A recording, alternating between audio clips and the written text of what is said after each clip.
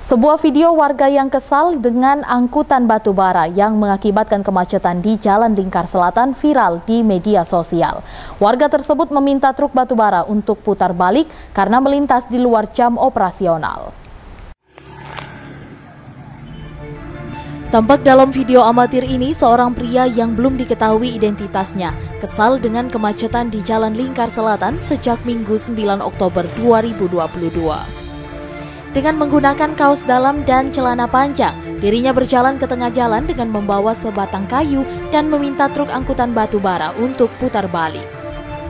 Kejadian ini diketahui berlangsung di jalan menuju Simpang Acai, Kecamatan Palmera, Kota Jambi.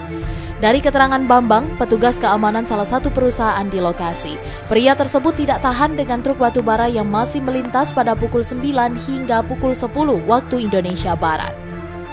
Dirinya menyebut pria yang ada di dalam video tersebut hanya meminta truk batu bara yang memutar balik, sementara truk barang lainnya tidak ia permasalahkan.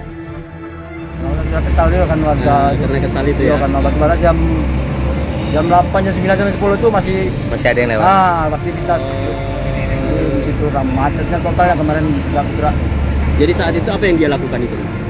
Kemarin mengatur siapa yang pakai batu mobil batu bara disuruh mutar. Oh. itu parkir di, di, di pinggir jalan. Berarti targetnya batu bara aja tuh? Iya, kalau mobil sawit sama karet. Bima Sanjaya, Jack TV, melaporkan. jalan kembali normal, walaupun masih